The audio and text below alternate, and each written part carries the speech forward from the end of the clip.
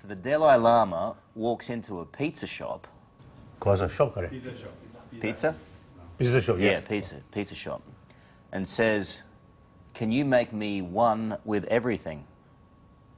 Hmm. What's that? What's what?